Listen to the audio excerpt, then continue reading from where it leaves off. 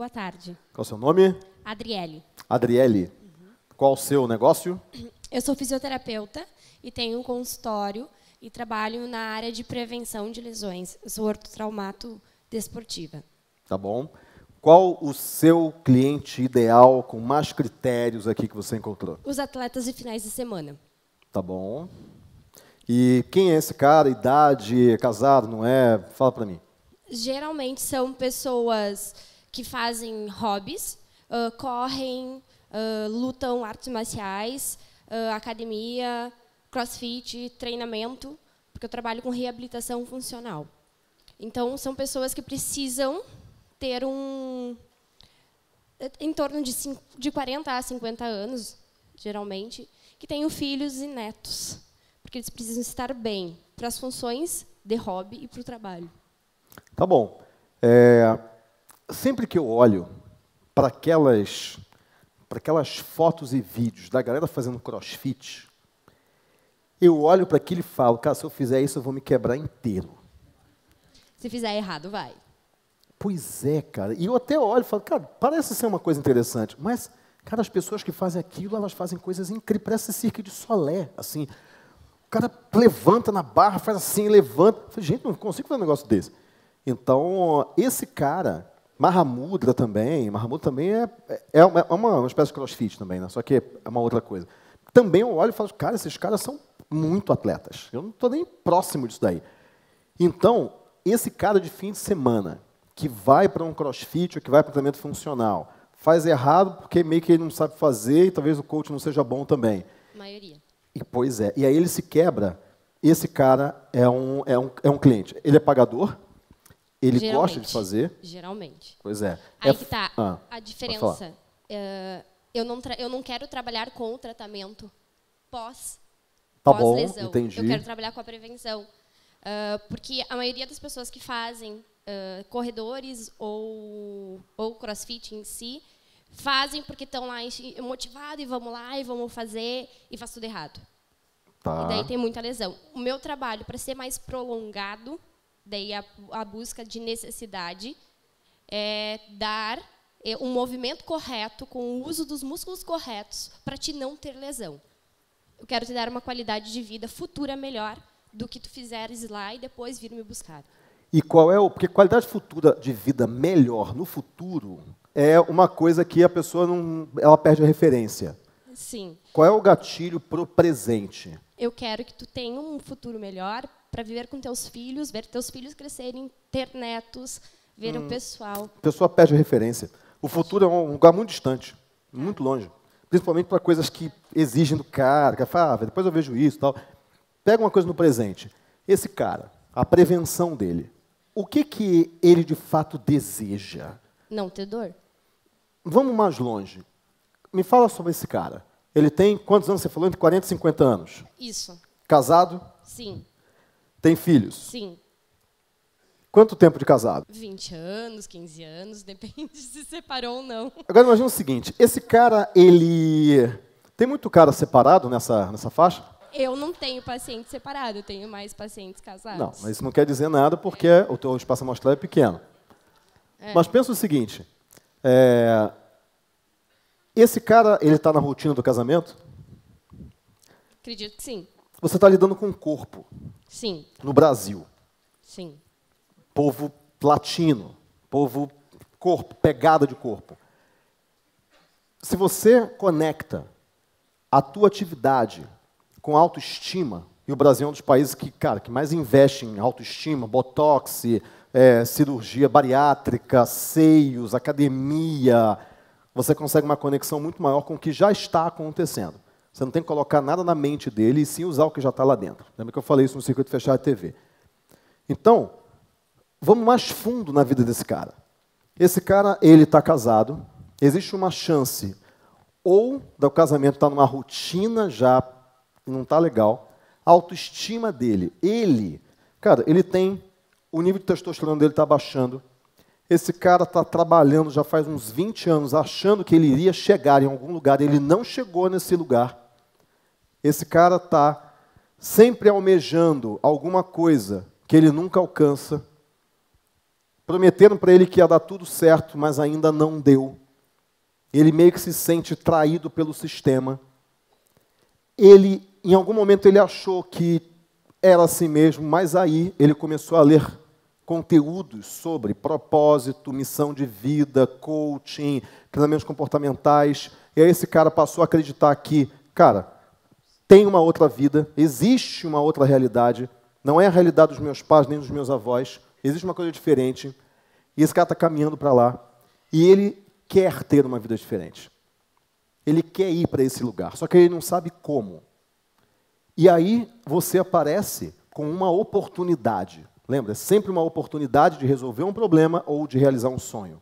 No caso dele, é um problema e tem um sonho envolvido também. Ele quer ter uma vida diferente porque ele quer sair daquela vida que ele está. E aí, você já leu Semente da Vitória? Não. É muito legal, todo mundo cobra. E ele fala, para você mudar a sua mente, muitas vezes você tem que começar pelo corpo, é mais fácil. E, e você mostra para esse cara o seguinte, começa pelo teu corpo. Começa pelo teu corpo. Você mudando o teu corpo, você vai mudar a tua autoestima, você vai mudar a tua mente. Cara, você vai ter uma mente mais focada quando você trabalha o teu corpo. Só que você não vai entrar com a promessa da academia.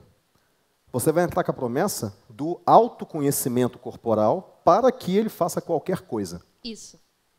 Legal. Autoconhecimento corporal faz sentido? Sim, muito. Legal. E por que autoconhecimento corporal? Porque a gente tá, a gente não está numa era de mudanças. A gente está numa mudança de eras. A gente teve a era agrícola, a gente teve a era industrial, a gente teve a era da informação, e hoje as pessoas não aguentam mais tanta informação. Elas querem saber como ela se transforma a partir dessa informação que já está demais já. A internet acelerou. Antes a gente tinha mudança de eras a cada, tipo, 600 anos, mil anos. Só que, de repente, já chegou. Já chegou essa mudança. E essa mudança é a era da transformação. As pessoas hoje querem se transformar. Elas não querem mais se informarem, porque a informação já está demais. Elas querem se transformar. E a partir do momento que ela quer se transformar, você se conecta a uma onda muito maior do que você, que é a onda do para eu me transformar, eu tenho que saber primeiro quem eu sou.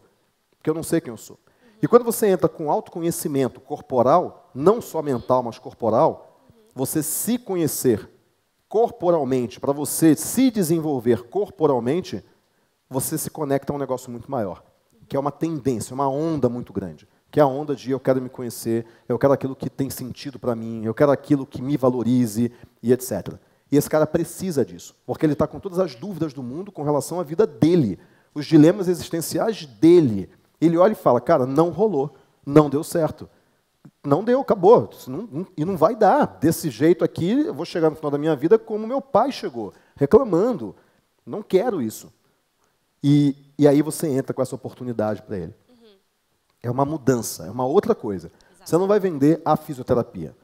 Você vai vender o estado emocional dele. O estado emocional é: eu quero me conhecer, eu quero estar bem comigo mesmo. E isso pode começar pelo meu corpo. Só que para isso você vai precisar de fisioterapia, você vai precisar entender o teu movimento, o teu músculo, para daí você entrar num processo que você pode também fazer academia, o crossfit, e você chegar naquela, naquela forma física que você quer. Só que para isso tem que ter um processo. Primeiro você precisa se conhecer. E aí você entra nesse público. Exatamente. Faz sentido? Perfeito. Legal. Exatamente. Agora vamos repensar o público com essa ótica. Quem é esse cara, então? É o cara, ok, entre 40 e 50 anos, casado ou separado? Casado. Casado. Uhum. Ele tem filhos? Sim. Legal. Esse cara é empresário ou ele trabalha numa empresa? Empresário. Por quê? Tem que ter dinheiro para pagar. Mas o cara que trabalha numa empresa também. Não quer dizer que ele não tem eu dinheiro. Eu calculei, uh, geralmente, que é um, é um tratamento um pouco mais caro. Mais caro quanto? Bem mais caro. Bem mais caro quanto? Pois é, depende. Depende quanto? Como é que eu posso te dizer? É... Custa 50 mil reais por mês? Não. Custa mil reais por mês? Sim. E, e onde que isso é caro para um executivo que trabalha 16 horas por dia. Ah, é, esse é empregado, no caso. Não é eu. Tá. Pois é, Sim. não necessariamente é o empresário. É, Porque o empresário, ele tem o poder de decisão sobre a vida dele, ele muda a vida dele com muito mais rapidez do que um cara que trabalha numa empresa. Sim. Esse executivo, ele está sendo massacrado pela empresa, já faz muito tempo, ele está subindo muito mais devagar que ele achava que ia subir, ele vê alguns amigos que ele considera muito menos capazes do que ele, que subiram mais rápido, esse cara está cheio de dúvidas, só que esse cara tem um cargo de gerência. Talvez ele não seja um Sim. executivo, mas ele tem um cargo de gerência. Sim. Mil reais por mês para ele não é muita coisa. Sim. Ok? Agora, se você mostrar para ele que você resolve uma dor que está interna dele, não é uma dor de músculo, é uma dor interna. E então eu acho que esse cara ele não é empresário. O empresário ele decide mais, ele muda a vida dele com mais rapidez. Tá. O cara que está numa empresa ele não consegue fazer isso. Esse cara é massacrado em silêncio. É, é- é o tem uma frase do Thoreau que ele fala: a maioria dos homens vive em um silêncio e desespero. Esse é o cara do silêncio e desespero. Um silencioso desespero, né? Então, então esse cara, ele trabalha numa empresa, geralmente uma empresa grande, não uma empresa pequena. Isso. Legal. O que mais sobre esse cara, então? Pega os teus clientes. Geralmente tem uma dor. Dor física mesmo. Dor física. Por quê? A maioria trabalha sentado. Ok. Então, onde que é a dor física dele? Você trabalha Lombar. sentado. Lombar. Dor lombar. Legal. Dor lombar tem uma quantidade gigantesca de buscas no Google. Eu falo isso porque eu tenho um mentorado que justamente é um fisioterapeuta que trabalha com dor lombar. Então, é gigante. A busca no Google é Muito. monstruosa. Então, a tua mídia é Google. É. O cara que digita dor lombar, dor lombar esquerda e por aí vai, dor nas costas e por aí vai. Legal. Você vai trazer esse cara que digitou dor lombar, você vai trazer ele para algum lugar. Que, que você vai mostrar para ele? O que, que você vai oferecer para ele se conectar com você? Um conteúdo qualquer. O quê? O que, que resolve ou ajuda ele a resolver a dor dele? Eu sei. Eu sei porque eu já estudei esse mercado. Mas você tem que saber também. Esse cara tem dor lombar. O... Ah, Geralmente é, é, uma, é uma, uma solução mais rápida. legal. Que solução é essa? Sei. Existem alguns exercícios que o cara pode fazer nele mesmo. Ah, Que- o remédio. Exatamente. É remédio. É. Não, não- não remédio, mas alguns tipos Sim, de massagem que conseguem resolver Sim. ou melhorar a dor dele. Sim. Sim, você vai achar esse cara e você vai trazer esse cara para uma solução dessa. Porque esse cara vai falar o seguinte, cara, melhorou. E quando melhora, é demonstração. Lembra que eu risquei com a caneta ali? Todo mundo viu que a caneta era diferente. Sim. Aquilo é demonstração. Então você vai ter alguma coisa para demonstrar para ele. Cara, isso aqui funciona. Entendeu? Tá. A partir do momento que você mostrar para ele que funciona ali na hora, ele consegue confiar em você. E aí você traz ele para você. No caso, eu faço a primeira venda. Você vai só ensinar para ele. Por enquanto você está identificando só o cliente e Entendi. trazendo ele para algum lugar. Por enquanto a gente está indo até mais longe. Você está identificando o cliente. Ele é um cara que trabalha numa empresa razoavelmente grande, ele é massacrado, ele é casado, não que uma coisa tem a ver com a outra, ele tem filhos, ele está ali há 20 anos ali suando para galgar posição na empresa, e esse cara, ele tem uma dor lombar porque ele trabalha sentado. Você tem um retrato desse cara, você sabe exatamente o que ele sofre. E aí você vai falar para ele: Eu entendo você. Se você explicar para ele, melhor do que ele mesmo, o problema que ele tem, ele vai concluir que você sabe a solução. E aí você consegue trazer esse cara. Por isso que você tem que entrar em um público e entrar muito fundo nesse público. Entendi. Emocionalmente, principalmente. Não só características dele, Sim. mas emocionalmente. O que está dentro dele. Tudo bem? Sim. Legal? Maravilha. Palmas! Eu espero que você tenha gostado do conteúdo e se você quiser dobrar a sua empresa de tamanho, acesse agora dobresuaempresa.com.br e lá fale com um dos meus consultores para você aprender o método que já ajudou mais de 13 mil empresas nos últimos 18 meses a alavancarem muito os seus resultados dobresuaempresa.com.br. Fale com um dos consultores que ele vai indicar o caminho para você aprender a dobrar a sua empresa com um método validado, testado no mercado pelos últimos oito anos. Vai lá, dobresuaempresa.com.br.